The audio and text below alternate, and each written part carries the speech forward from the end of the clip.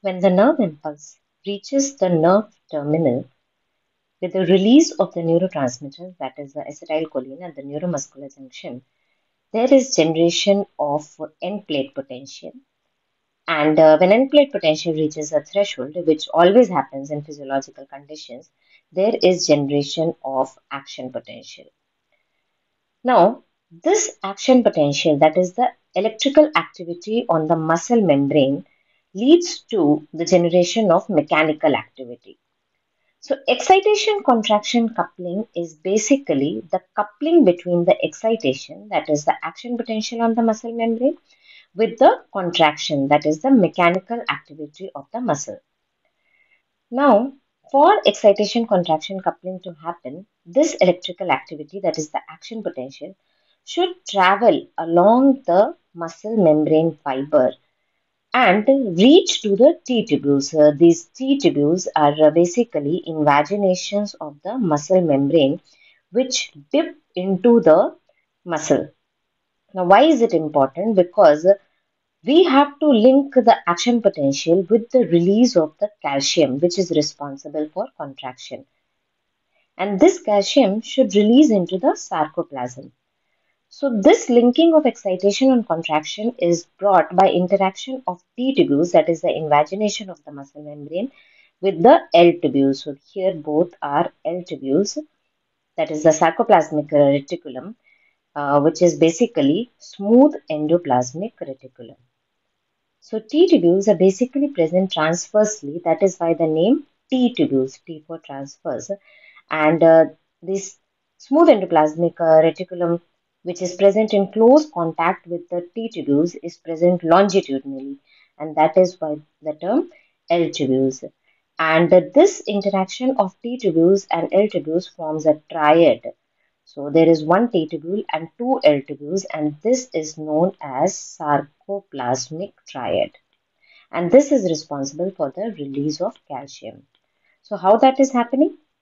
On these T tubules are present receptors known as DHPR receptors, dihydropyridine receptors and on the L tubules are present another receptors or basically these are channels known as RYR or ryanodine receptors. So when the action potential travels along the membrane, what happens that there is physical interaction between this DHPR and RYR and this causes the opening of these RYR. So these are basically ligand gated channels. So this DHPR is voltage gated channels and these voltage gated channels interact with RYR and cause the opening of these ryanodine receptors and cause the release of calcium from smooth endoplasmic reticulum. So as RYR opens, calcium enters into the sarcoplasm. So this smooth endoplasmic reticulum is a huge storehouse of calcium. So in skeletal muscle, remember, it is a physical interaction between DHPR present on the T tubules and RYR present on the L tubules, which is responsible for release of the calcium. On the other hand, in smooth muscle and cardiac muscle, what happens that in action potential, there is entry of calcium. So in skeletal muscle, action potential is due to the entry of sodium ions, but in smooth muscles, the depolarization phase is due to the entry of uh, calcium ions and in ventricular action potential or atrial action potential, the plateau phase, there is entry of calcium ions. And this calcium ions basically interact with the ryanodine receptors which are present on the L tubules. So that's why I'm saying that these are ligand gated channels. And this interaction causes the release of calcium. So that is known as calcium induced calcium release.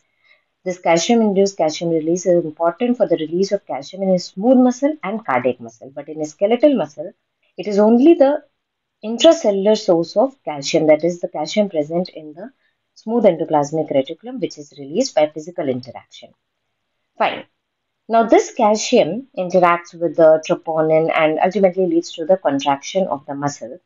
But for relaxation, it is important that this calcium should enter back into the smooth endoplasmic reticulum and that is brought about by a pump known as smooth endoplasmic reticulum calcium ATPase.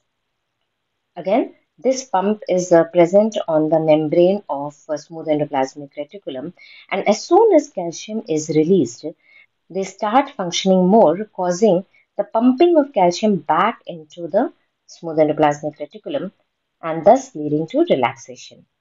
So, fundamentally, it is the release of calcium which is linking the excitation, that is the action potential, with the mechanical activity, that is the contraction. Thanks for watching the video. If you liked it, do press the like button, share the video with others, and don't forget to subscribe to the channel Physiology Open. Thank you.